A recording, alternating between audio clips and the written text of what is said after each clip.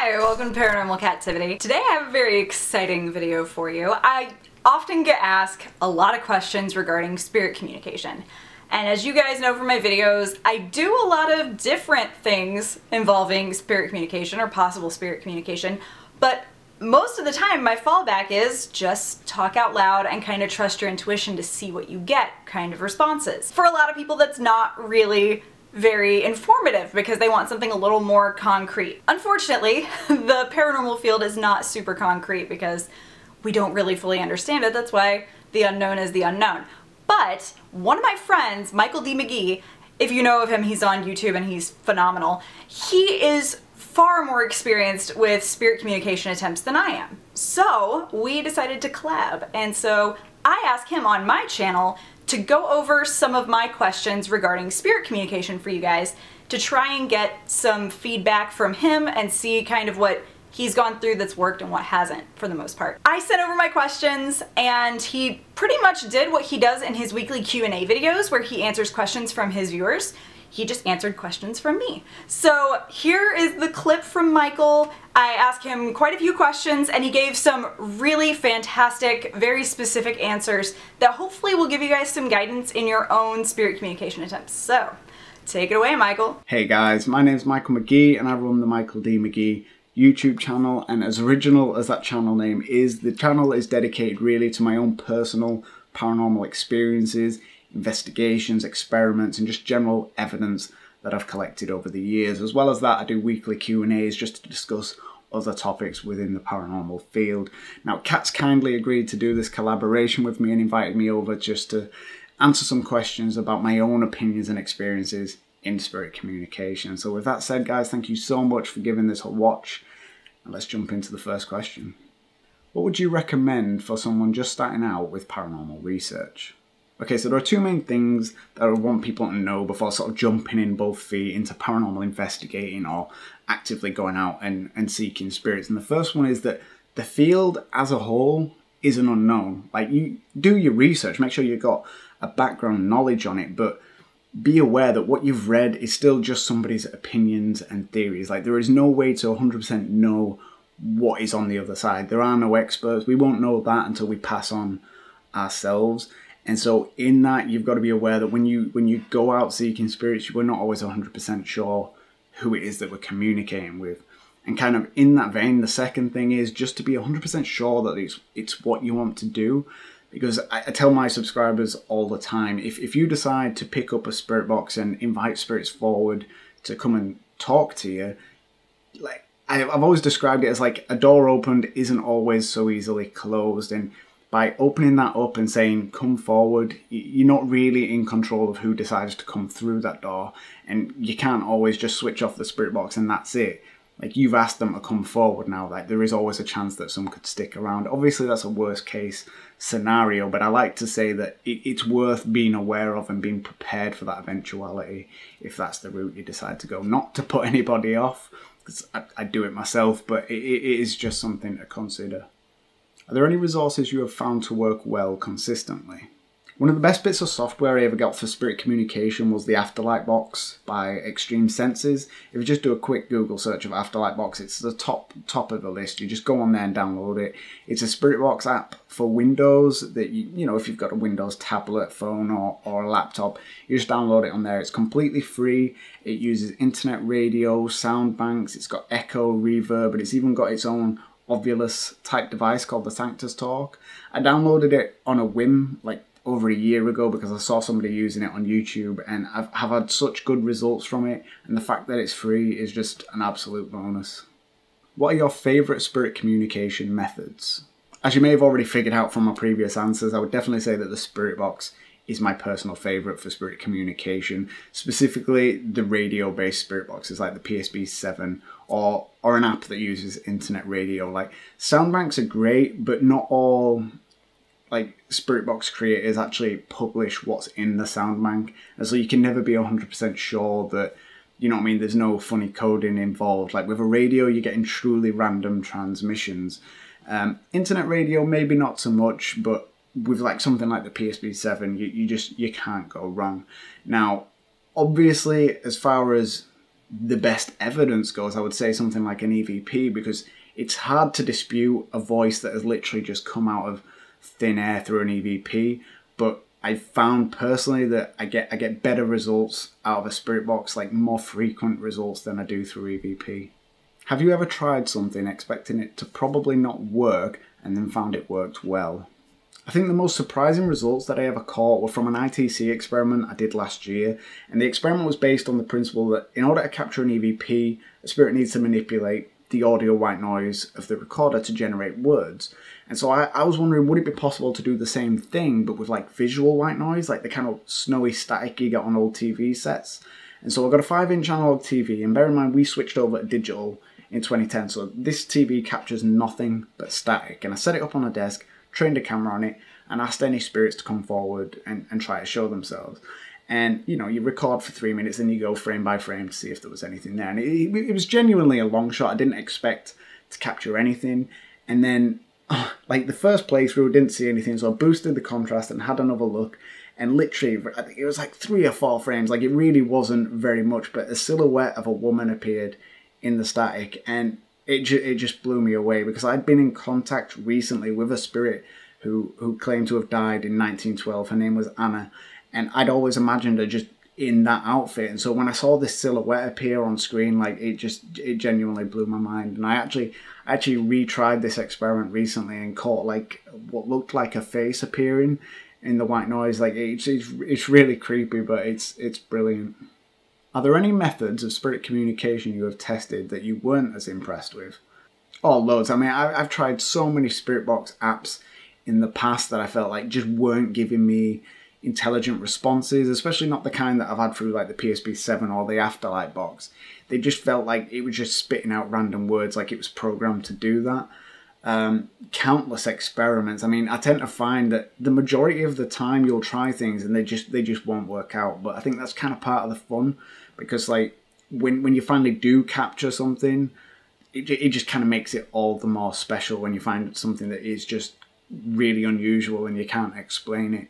Um, to name a few that I've tried, I mean, I've tried laying out Scrabble tiles, see if words can get spelled out. Never, never moved an inch. Automatic writing, I have tried that now. Never, never wrote anything that I thought was beyond just random babble from my hand. Um, I think the one that's been the most consistently disappointing has been the powder on the floor test, where you you know you kind of spread baby powder and spirits are supposed to be able to uh, leave hand and footprints and writing it and stuff, and it it just never caught anything. I mean, the best thing I caught was a few years ago where it looked like a breeze, sort of like a waft of air, just pushed a load of dust out. And yeah, it was unusual that the dust came out of nowhere, but looking back on it now, I'm just I'm very unimpressed by it. Like it, it could have been pretty much anything. And that experiment, no matter how many times I try it, just consistently disappoints me. How important is your relationship with what you are trying to speak to? Do you feel that the more time you spend with an entity, the more comfortable it gets with you? Or do you think that the more experience you have with communication, the better all the communication attempts will be?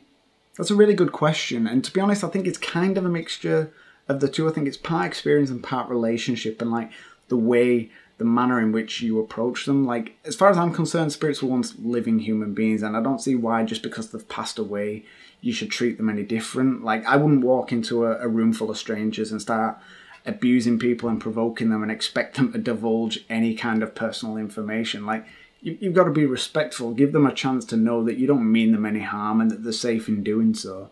And I think the same thing applies to spirits. If you're going to visit a haunted location, be respectful. Don't provoke them. Yeah, you might capture some activity, but it's just straight negative. They're not going to be forthcoming with any information. Like, it's going to stop there. I think be respectful, be polite, and if possible, like visit multiple times. Give them a chance to get comfortable with your presence and know that you're not just another investigator coming for, for cheap thrills. You know, you're there for information and you're there to help.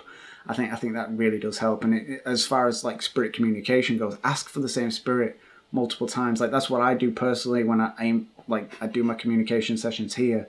Is I try to ask for the same spirit multiple times to give them a chance to get to know me a little bit. Like the more times we speak, the bigger the rapport is and the better the relationship type deal. I tend to find I get more information out of it that way.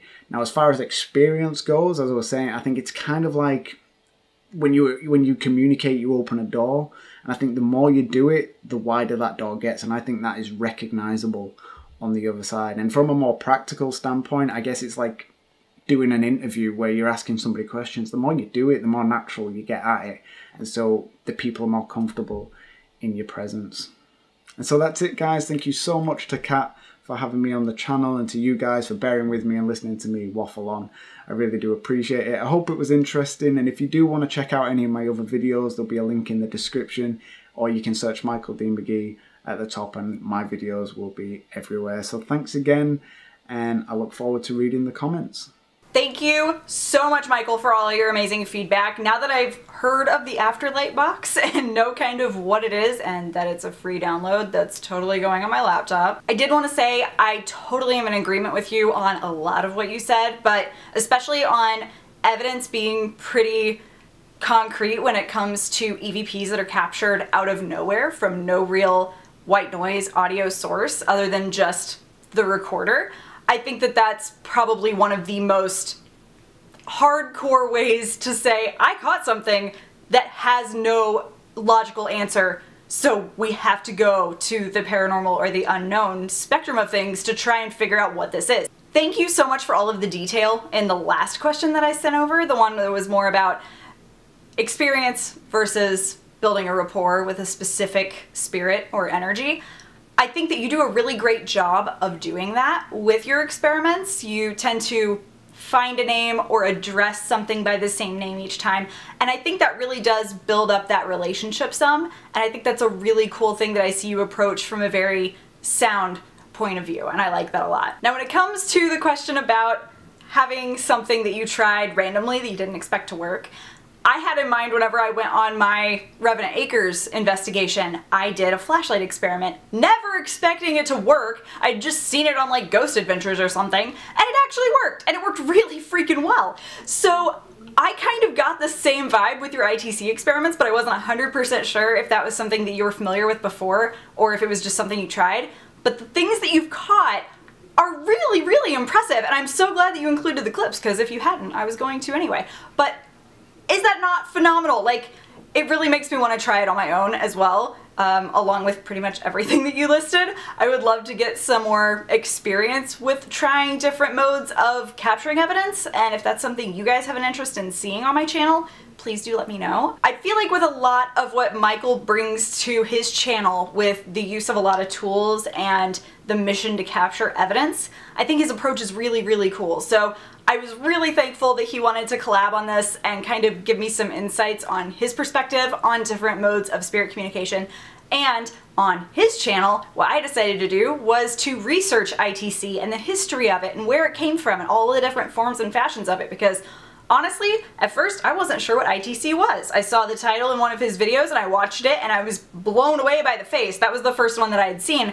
And so I did a little research and it turns out ITC is pretty much any form of electronic communication. So all of us in this paranormal field are pretty familiar with it in one way or another. I just don't think we all knew exactly what to call it or how it really worked in relationship to each other. So that video is over on Michael's channel if you want to check it out. I learned a lot and hopefully I'll be able to inform you guys on some different things about it too because it was a really, really cool topic and I love diving into it. Thank you guys so much for watching. Thank you again, Michael, for collaborating with me. I had a blast. I hope you did too. I hope you guys enjoyed seeing Michael on my channel. If you did, please let him know as well. Like he said, he's going to be checking the comments, and I'm going to be checking comments on his videos, so be sure to give us feedback on these because that would mean a lot. Be sure to check out his channel if you haven't before.